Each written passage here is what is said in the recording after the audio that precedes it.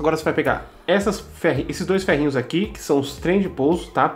Junto com as duas rodinhas que acompanham, beleza? E aí o que nós vamos fazer? Vamos virar aqui, ó, o aeromodelinho aqui. E aqui, pessoal, se vocês repararem aqui, ó, tá vendo que tem dois furinhos aqui, ó, bem, bem leves aqui, ó, dá pra ver bem leves, que é o seguinte, você vai pegar um desses aqui, vai meio que furar ele aqui, tá?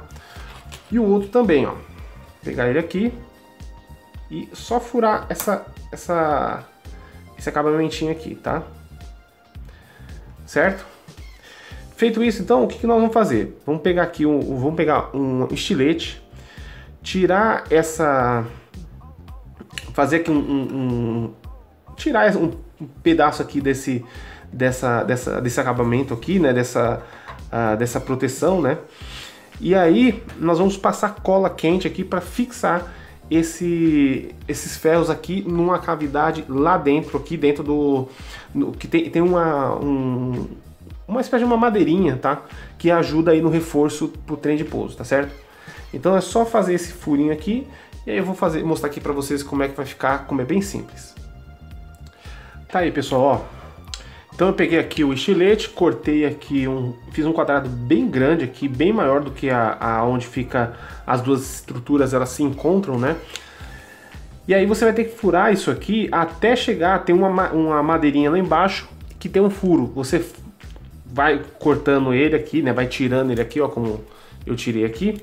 Você vai tirando o Depron até chegar nessa madeirinha. Chegou na madeirinha, você vai pegar cola quente, pinga cola dentro do buraquinho, tá?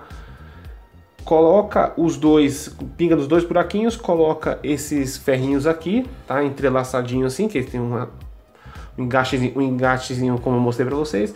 E aí é só encher de cola quente, igual eu fiz aqui. Como ainda está quente, eu vou deixar isso aqui esfriar um bom tempo, aí, algumas horas, tá? Lembrando que isso aqui é trem de pouso, trem de pouso tem que estar tá bem assim, é, tem que estar tá bem firme mesmo, tá bom? Aí finalizando, quando esfriar e tal, eu já vou fazendo aqui para mostrar para vocês. Vocês vão pegar aqui os pneuzinhos que acompanha, tá? Essa parte aqui é para fora, você vai colocar aqui, tá bom? E aqui, tá? Aí você coloca ele aqui, ó. Ele, só, ele vem com esse nutzinho aqui, que é um parafusinho, uma porquinha, né? E aí você vai e parafusa ele aqui. Só rosquear aqui. E quando você terminar de, de rosquear, é conveniente que você... Ah não, perdão, perdão, perdão, não, não, não, não, Falei errado, tá? É o seguinte, aqui, é... esse negocinho aqui tem que ser pra lá, porque ele vai deixar um espaço aqui, ó. Ele vai impedir com que a, o, esse, a, esse ferrinho encoste na roda, tá?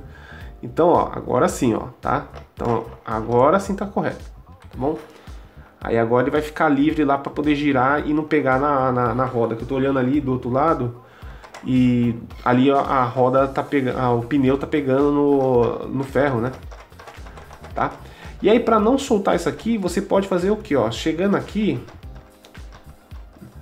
você piga aqui um, uma cola quente, alguma coisa assim, ó para que ele possa não, uh, não mais sair, o parafuso não sair conforme ele vai girando, tá certo? Porque ele não tem nenhuma, nenhum tipo de trava, tá bom? Pinga um, um pouquinho de... Ou então aqui, ó, você solta um pouquinho, ó, e dá umas gotinhas de cola CA aqui, e aí você parafusa, que aí ele fica em definitivo... Uh, uh, o parafuso ele fica em definitivo parado aqui, preso aqui, tá bom? E aí ele fica livre assim, Certinho então? Aí agora eu vou virar ele aqui, ó, e mostrar para vocês o que, como é que a gente faz para prender isso aqui aqui, ó. Tá? Esse acabamentinho aqui do trem de pouso.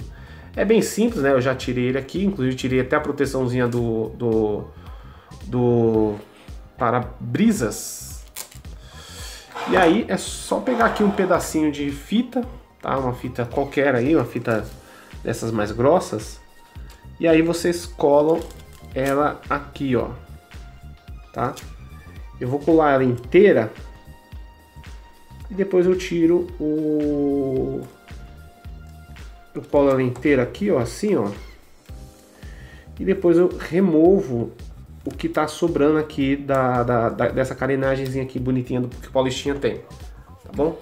Você vem aqui vai cortando ela aqui. Tá? E aí você vai tirando ela, essas sobras aqui que ficou meio ruim com essa pedaço. Eu, eu vou fazer aqui, já já eu mostro pra vocês como vai ficar, tá bom? Tá aí, tá vendo? Ó, eu só deixei um pedacinho a mais na hora que eu cortei aqui, né, com um estilete, eu fui tirando a rebarba para poder dobrar ele para trás, ou melhor, para frente, né, de trás para frente, e aí ele ficou certinho aqui. Ficou bem legalzinho, tá bom?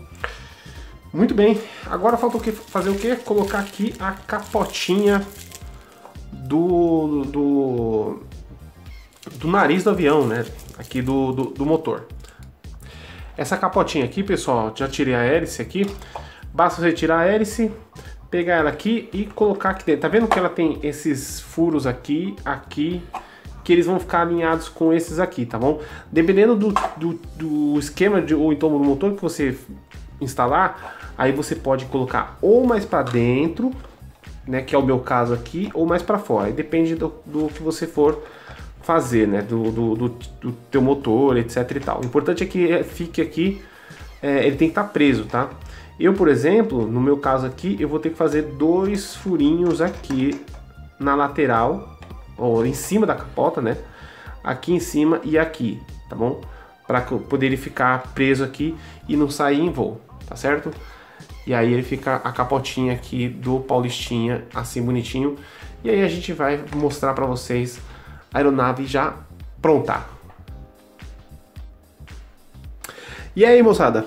Ficou pronto então o nosso querido Paulistinha da Eagle Models, tá bom?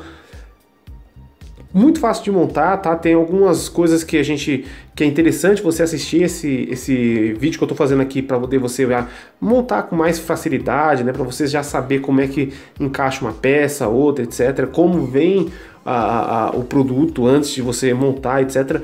Enfim, é legal você acompanhar aqui junto com a gente para você ter esse era o modelo show de bola também é na sua casa, tá bom? Uma coisa que eu fiz aqui, ó, que já já que, que eu não posso esquecer é aqui, ó, tá? Aqui tem um, vem um parafuso na, lá no kit, tá? Eu vou fazer isso mais tarde, porque agora já tô bem cansado.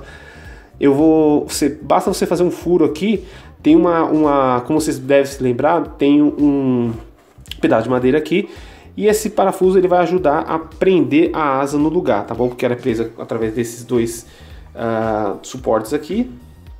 E aqui ele evita da asa ficar é, abrindo, né? Que é super importante, tá bom? Outra coisa também que eu vou ter que fazer é dar um jeito aqui de abrir um pouquinho mais essa capotinha aqui, tá bom? Vou fazer com um estilete mesmo, tá? Porque isso aqui tem que estar tá livre, ó, tá? Isso aí depende do... Se você comprar o kit que vem o motor original para ele, não precisa fazer isso. Eu vou fazer por quê? Porque o motor que eu estou usando é motor de drone, então é outra pegada, certo? E arrumar também lá dentro, como vocês podem ver, arrumar, colar, colocar bem direitinho aí a, o receptor, tá vendo? Ó, tá meio bagunçado e não é bom ficar bagunçado assim, tá bom? Mas ficou muito bonitinho aqui o nosso glorioso Paulistinha da Eagle Models. Certinho então, pessoal? Fechou? Curte drones e aeromodelismo. Não se esqueça de se inscrever agora mesmo aqui na Condona Drone. Toda semana tem vídeo novo para vocês. A gente se vê, claro, no próximo vídeo, que é vídeo de voo dessa máquina.